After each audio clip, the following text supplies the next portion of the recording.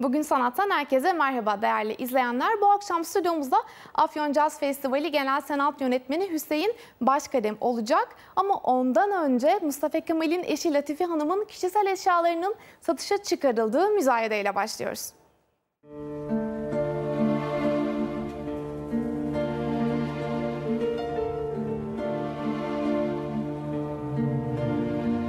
Cumhuriyet tarihinin en önemli kadınlarından biriydi o. Bir ulusun tekrar uyanışına adım adım tanıklık eden Atatürk'ün bir dönemki hayat arkadaşı Latife Uşaki, bilinen ismiyle Latife Hanım.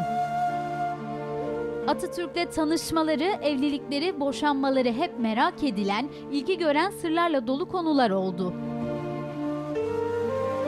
Latife Hanım'ın belki de Atatürk'le karşılıklı oturup çay içtikleri, Çankaya Köşkü'nden Ankara'yı izlerken kahve yudumladıkları özel eşyalar Artı Mezat tarafından satıldı.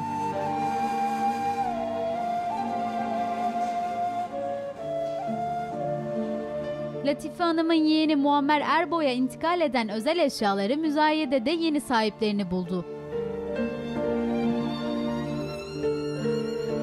Gümüş kaşıklık 3500 liraya, Tuğralı gümüş kart vizitlik 1300 liraya, gümüş tatlı takımı 8000 liraya, gümüş kadehler 1500 liraya ve semaver ise 4000 liraya alıcı buldu.